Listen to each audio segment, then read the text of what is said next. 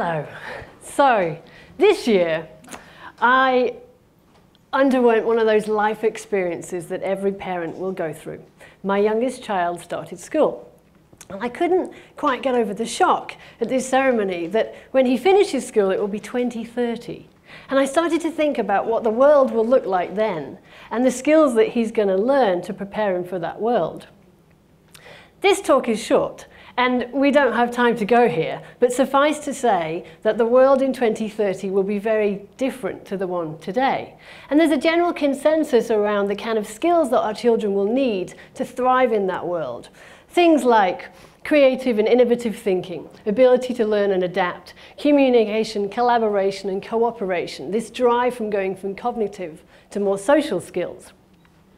But I would like to suggest that there's another skill that they're going to need knowing their being. I think that if our children know their being, we can change the world.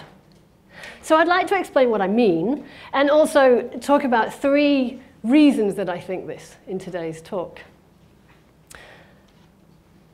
The area, the interest in who we are, our being, and the states of being that we operate in has grown wildly in the last 10 years because of developments in technology that have enabled us to look inside the brain and body, the machinery, and have a look at what's actually happening in these states in real time.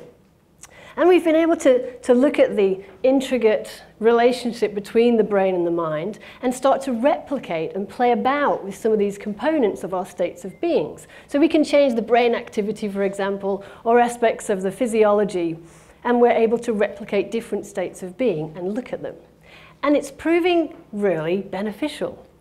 The state of flow, for example, um, Steven Kotler, one of the, um, the founders of the Flow Genome Project, defines flow, the state of flow, as an optimum state of being. And it's been found that the benefits of flow include these. A 500% increase in productivity, a 490% increase in skill acquisition, 403%, 430% increase in creative problem solving, and three days of heightened creativity after entering a flow state. So the attributes that flow maximizes are the very things that our children are going to need in their future. In fact, James Slavet from Greylock Ventures says that the flow state percentage is the number one management metric for the 21st century. The point of all of this is that the state of flow is within our being. We're using our brain and body to access this state of being. So it's always accessible to us. Wouldn't it be cool if we could teach our kids how to access that state of being? If we could, it would be really useful for them in their future. This was the first main reason I want to discuss about why I think teaching their kids about their being is really useful. And the second thing is this. So our children are in a mental health crisis. One in four of our children has a mental health illness. One in four of our children has self-harmed. The rates of suicide amongst our children are at an all-time high. Children as young as nine are killing themselves. This is not okay. All the statistics say that these are getting worse. Nobody is saying this is getting better. This is not okay. Think about what this means. In your, your local circles of family and friends with children, one in four of your families are going to be broken apart by this. It's not okay. So what are we doing about it? Well, we need to do more. And I would like to suggest that we need to do something different. Einstein said, no problem can be solved from the same level of consciousness that created it. In psychology, the most successful models of therapy for depression, things like mindfulness-based cognitive therapy, are based on the notion that the intellect doesn't always help us out. In fact, sometimes it can make things worse. So healing in MBCT uh, is based on getting out of the ordinary state of being. So perhaps it could be in these states of getting out of the container where the problems lie, getting out of our brain and body, transcending, going beyond the self where the problems are, that we might find the answers we're seeking. Psychiatrist Roland Griffiths defines the state of transcendence as transient moments where people feel lifted above the hustle and bustle of daily life. Their sense of self fades away and they feel connected to something bigger. In such states, people typically report feeling of awe and rapture, of time stopping, and of feeling a sense of unity with other people, nature, God, or the universe. And the state of transcendence is a fundamental part of human experience. From the dawn of our species, people have been losing themselves in ritualistic prayer or dance or music. In fact, um, Kotler and Wheal, in their 2017 book Stealing Fire, calculated that every year we spend $4 trillion on getting out of our own heads. Plato described this um, state as where normal waking consciousness vanishes completely and is replaced by intense euphoria and powerful connection to greater intelligence. Previously put in either the spiritual experience or the psychosis box, the latest advances in technology mean that we can look at these states in a scientific way. We can look at what's happening in the brain and body when the, we're in these states, and we can start to unpack them. So scientists are beginning to look at the similarities, um, the neurological similarities underlying these experiences from thousands of people's reports of these experiences, and some being replicated and brought on in the labs. And what we're finding is that in these experiences, there's often profound positive impacts for the human psyche. It's thought that the reason that there's a healing ability in the state of transcendence is because of this um, ability to induce a feeling of self-loss. So David Yaden says, when the self temporarily disappears, so may too some of the fears and anxiety. William James says, we can experience union with something larger than ourselves, and in that union find our greatest peace. And the benefits of the state of transcendence are long lasting too.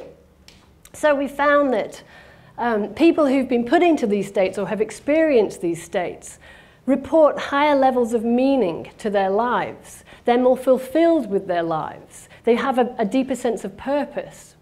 They've also found that they have higher levels of oxytocin, which is the hormone that bonds people together, which is not surprising then that in other studies they've found that people who've had these experiences are more likely to help others. So Yaden also said that most of us have had a degree of an experience of transcendence in our everyday lives. And about a third of us have experienced that deep sense of unity, whether it's with nature or everything or your God or whatever, a deep sense of unity. A third of us. So this isn't a state that's abnormal, that's not common. It's just that when it happens, it's quite fleeting and unintentional. But with the information we have now about what these states are and the benefits they can offer, wouldn't it be a good idea if we started to tell our kids that this state is accessible to them? It's within our brain and body. And this brings me to the last point, to the third reason I'd like to discuss today.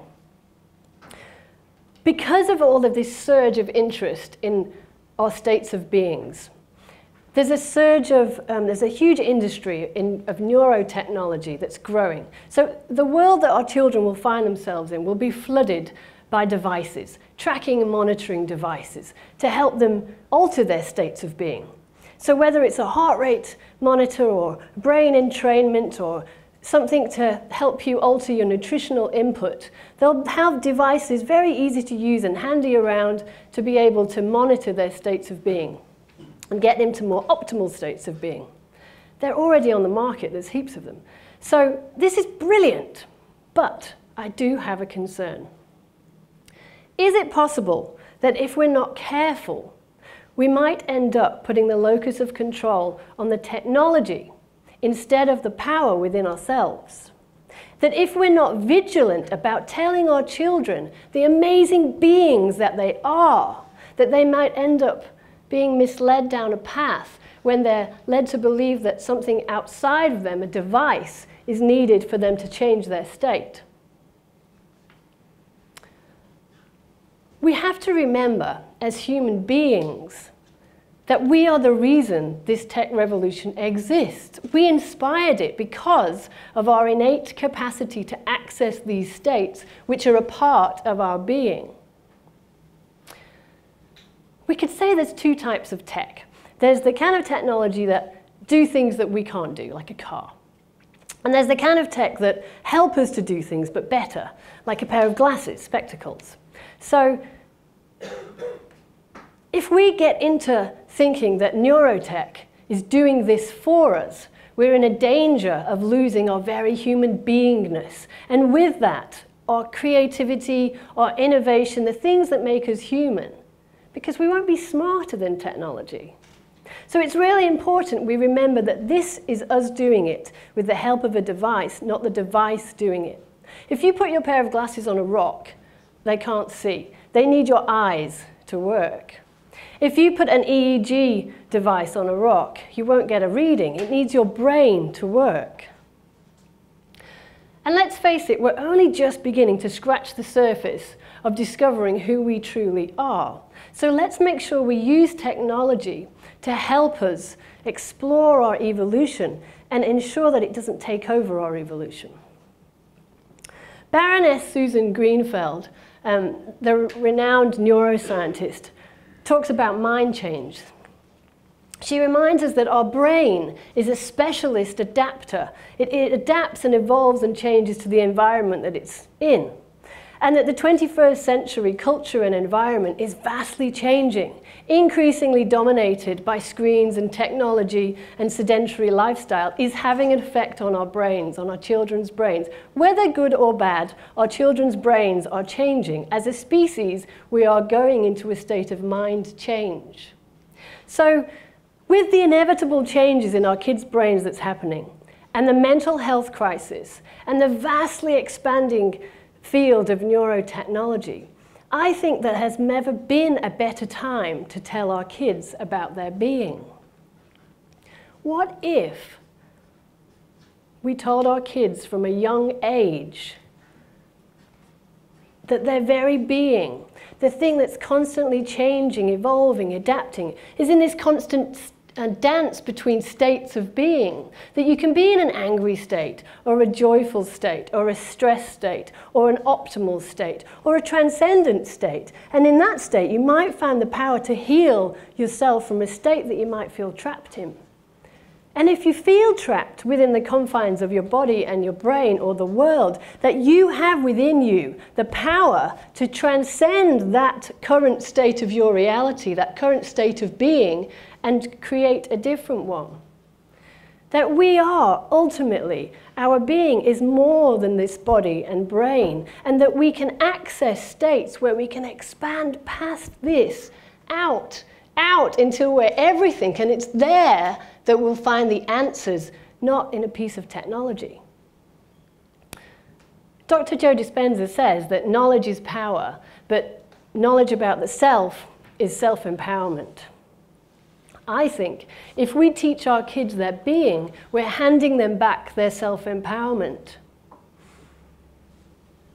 So, when my son finishes school, I would like to think, I'd like to vision, I do vision, that my son and all of our children will be fully self empowered and know the true fullness of their being. Then we have changed the world. Thank you.